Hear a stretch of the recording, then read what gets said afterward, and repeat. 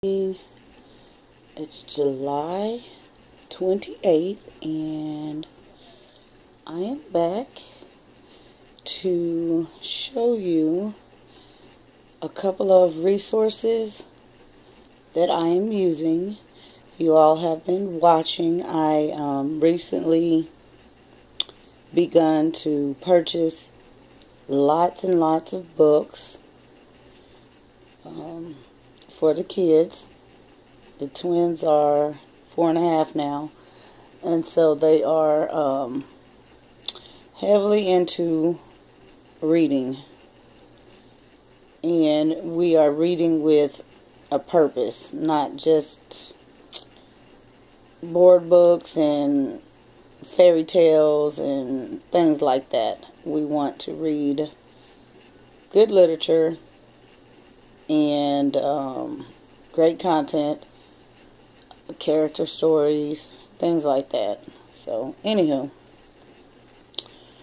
um, my main focus was Caldecott uh, award-winning books, and so that brings me to there is an entire curriculum using Caldecott readers. So here's this one. It's put out by Scholastic. This one is grade K2. And so let's get in here.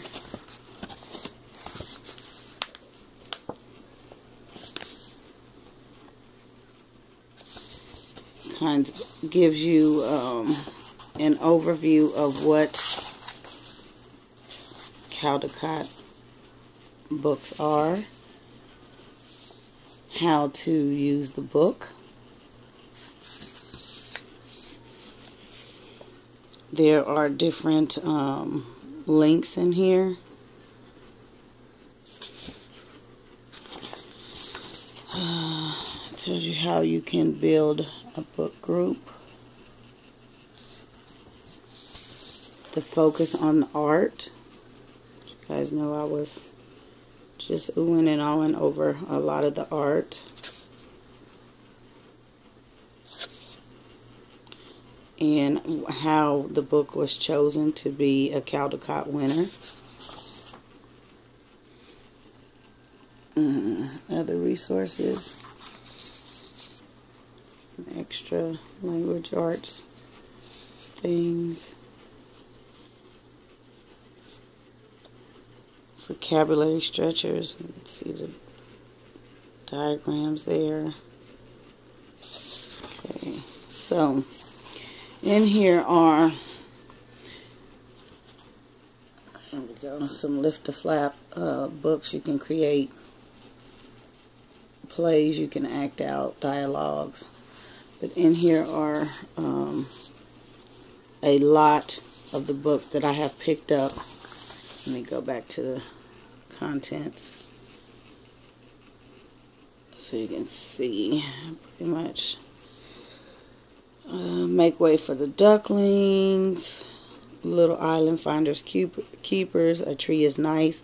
Once a mouse. The snowy day. Arrow in the sun. A Pueblo Indian tale. Why mosquitoes buzz in people's ear which I'm sure a lot of people are familiar with, and Oxcart Man, Fables, of course, The Glorious Flight, Across the, the Channel with Louis Blériot, St. George and the Dragon, Owl Moon, another popular one, um, Song and Dance Man, Lon Po Po, A Red Riding Story from China, or Red Riding Hood like that one. Uh, Marion on High Wire, Grandfather's Journey, Smoky Night, and Officer Buckle and Gloria. Okay. Mm -hmm. So.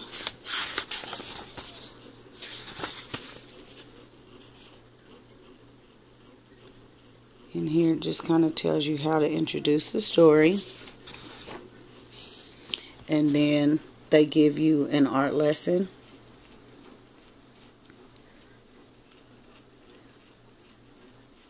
So, for example, you um, children will discover and observe something up close that can help them get details just right in their own drawing. Though you may not be able to invite ducks into your classroom, students will be happy to bring in stuffed animals or if you have a class pet, such as a fish or a hamster, use that instead. So you have them observe it, ask them how many legs, wings, paws, claws, and so on. Is it soft? Is it furry? Is it slimy? Is it prickly? Is it bumpy? What shades of uh, animal, light or dark? How big is it? What object or animal is about the same? What shapes and patterns do you see? And then you have them experiment with um, different types of drawings using, um, it says all shades of brown to achieve a similar effect. Try smudging with a pencil, a color pencil, or a pastel with a finger or tissue and then let them draw um, let them draw the animal so they can do that and then there's a book talk so you say what problem did Mr. and Mrs. Mallard have they couldn't agree on a place to live how did they solve it what problems did Miss Mallard have how did she solve her problems you ask the children to share problems and solutions in their own lives. And then you can turn the writing center into a postcard shop. Okay. And then over here, word watch. Introduce the cluster by inviting children to make duck sounds. Write the word quack on the board. What letter makes the what letters make the act sound. Underline the act, then reread the story. Ask the children to quack when they hear the act sound. Okay, write act words from the story. Um, on the duck shaped cards to use them to start a ducks in a row display. Invite the children to suggest other act words. And then they can um, cut out more of those shapes. What rhymes with Jack? So just a, uh, a fun activity to keep their minds going in that um, learning those sounds. And then there's a story extension that uh, brings in the other subjects math, social studies, and also science. Okay. And then here's the uh, postcard. Um, reproducible diagram. You don't have to actually copy it. You can make your own. And that's pretty much what that is. Let's see. Let's go to another one. Over here, there are also um, not just postcards, There's a journal page. The animal I am learning about, the animal is big, little, this is why I think so. My animal is longer or shorter than my pinky finger. I can describe the size of my animal another way. I can find three things that are the same size as my animal. Okay. So each book, there's a different way to cover the book different activities.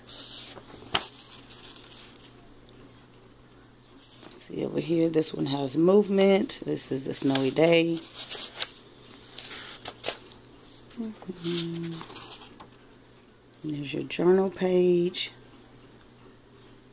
Language arts, the pocket chart, sequence, stories.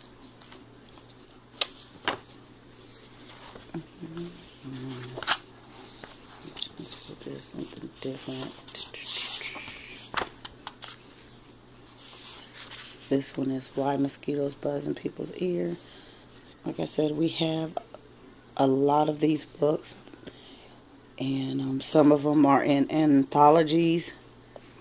So we may not have the individual book, but we have it. um, retelling the tale. The students can um, retell the story, which is cool.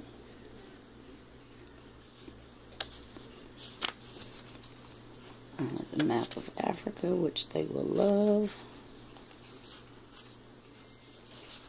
So, let's get to the back. What else is back here? Mm -hmm.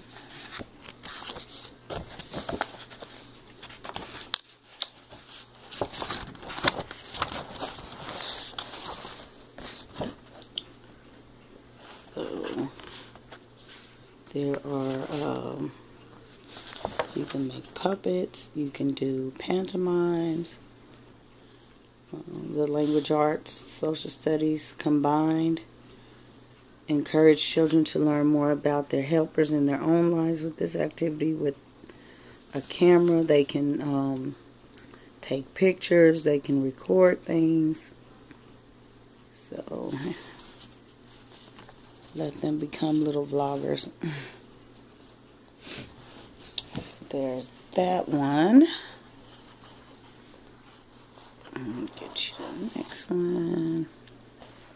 And then we have Caldecott activities, an avenue to critical thinking and creative expression. This one is elementary school. so complete, complete. it covers a lot more. This one has um, Abraham Lincoln, animals of the Bible. Uh, what else is in here? Fables, The Egg Tree, Frog Went a Courtin', Jumanji. Um, and so a lot of these, like Jumanji, if you have the movie, you can tie in the movie. Uh, Madeline's Rescue, um, then we have cooperative learning section, whole language le lessons. And so this one is a little bit different. Abraham Lincoln, and it starts out with um, basically the definition. It'll give you a word that you define. So if we um, actually use the books for the kids now, they won't actually write the definition. I will write the definition for them, and we will do a lot of this verbally until they are able to do it on their own. So we may cover this twice. It just depends. And there's an art project in here. And gives you their um, materials.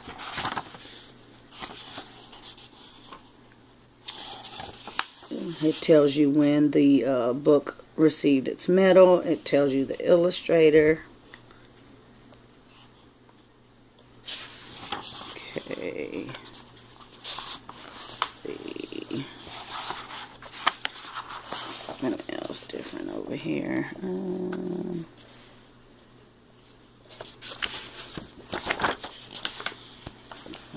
okay. Over here, nine days to Christmas. We have the the definitions again, and then we have some questions. And here's another story. The story on Mei Li. What are girls expected to do in China when their brothers go to the fair? Who went to the ice sled? So, comprehension. Lots of comprehension. It makes you really think about what you read. So, this will give me an understanding to if they understood it or not. Um, because you don't want to just have a child read. You want them to actually understand and comprehend what the what they are reading. So the Polar Express again, you can watch the movie.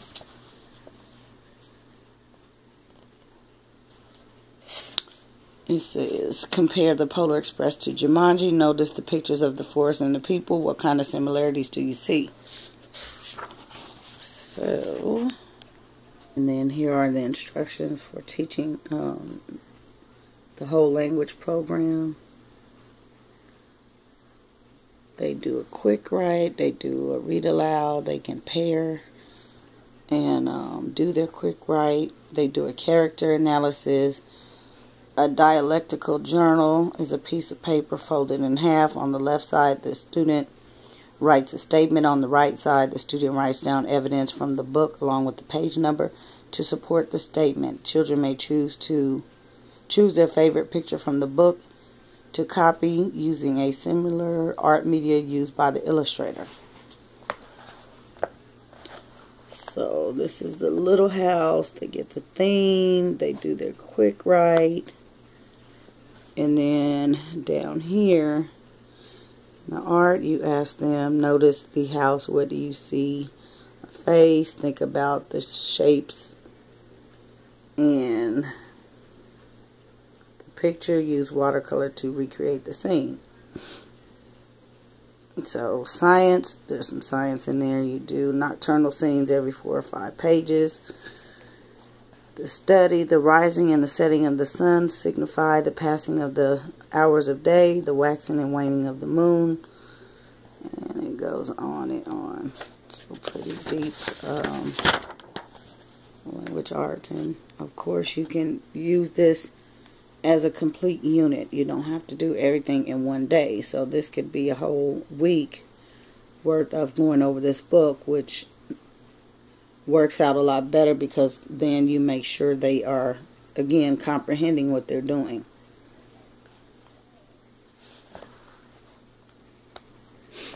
And Sam, yeah, okay, yeah, and it says that they read, the teacher reads the story or show the video, so that is great. Down here, some research. The children can give an oral report. And here are character analysis. Sorry, I moved the camera. Here's your dialectical journal. Then over here, it gives you a book holder pattern and some instructions. And then here's your recording form. Which I will just write in my planner. And just gives you a whole bunch of other uh, things in this T.S. Denison product line. Awesome stuff. I mean, awesome, awesome. So, love, love, love. Questions. It says the vocabulary exercises consist of five to six vocabulary words written in context so the students will know how the word is being used in the book. The students will proceed to use the dictionary to obtain the correct meaning of the word the correct meaning of the word is then written in a sentence. Questions of high level thinking are asked in an exercise. To give students an opportunity to gather meaning from the text, students must learn to compare, evaluate, analyze, and create. Art activities utilize different media such as tar- charcoal, colored chalk, construction paper, tissue paper, brayer, styrofoam, India ink, watercolors, and water soluble paint are suggested for each book. So, great, great critical thinking. Again, like I said, this one is pretty much will cover elementary level. And I can use other books, um, other Caldecott books that we have and just follow the same uh, curriculum pattern to um, to get them through those if they're not in the book. So that's the reason why I was so into um, I'm so into the Caldecott because there's because of this curriculum. You can find these books. I'm pretty sure you can find them on Amazon, but eBay.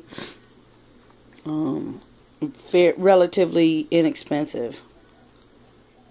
If you guys have used these, let me know that you um, use them. If you um, found this helpful, let me know in the comments. If you're looking forward to seeing um, us use these this curriculum, please let me know. And I appreciate you taking the time to view. And, um, yeah. Subscribe and I'll be back. Bye.